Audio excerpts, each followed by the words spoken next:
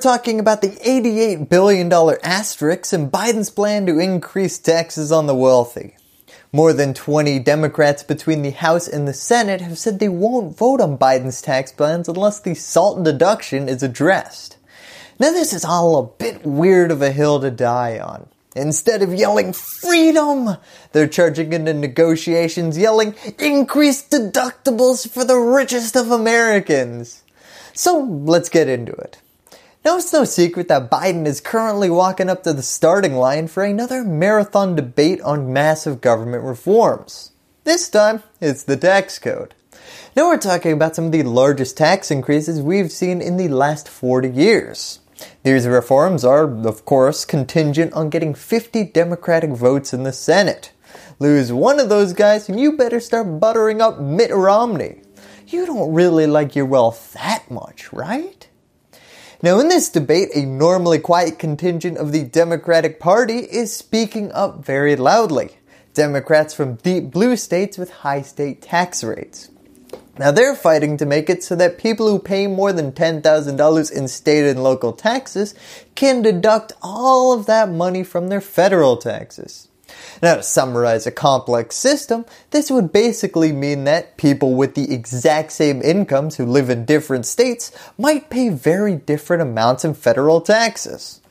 Well, he paid more at the state level, so let's cut him a break.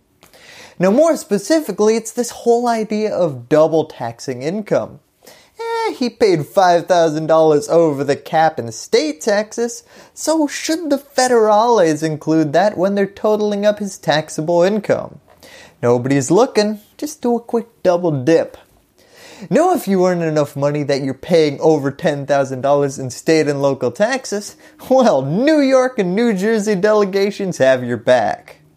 Now, if this sounds like an incredibly nuanced and boring debate that only benefits the ultra wealthy, you're not wrong. Were the $10,000 deductible cap be lifted, more than half of those benefits would flow to households making upwards of $1 million or more annually. Annually. This policy would have pretty substantial implications to the budgeting process though. Because, wait, you want an $88.7 billion year tax cut for the rich because the burden falls on your rich and not all rich? You do realize this bill's intent is to raise income taxes on the rich, right?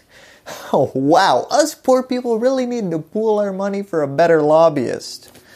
So why is this deduction cap the primary issue splitting Democratic members of Congress entering into this taxing debate?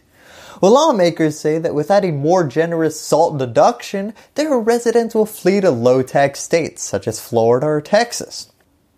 Of course, chances are if you move to New York or California, you've already come to terms with paying at the rear end in taxes. What's a little more? Well, the basic complaint is that the double tax on payments is just another brick in the wall encouraging high income earners to relocate into low tax areas. This would put downward pressure on states across the country into implementing lower tax rates. Or, of course, this is East Coast politics at its finest, and a few large anonymous checks are about to find their way into some campaign headquarters mailboxes. So that's the weird ideological conflict dividing the Democratic Party on this tax reform issue.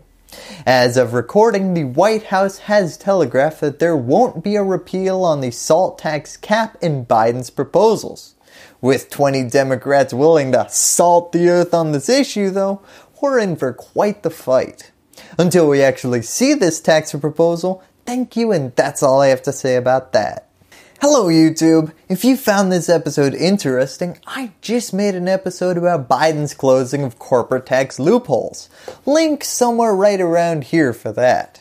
I'd like to thank my patrons up here for helping me put out my videos. And if you want to support independent, nonpartisan news looking into the overlooked, join this growing list of exceptional individuals by clicking on that link in the description like, subscribe, and all that other fun YouTube stuff. And lastly, as always, thank you for watching.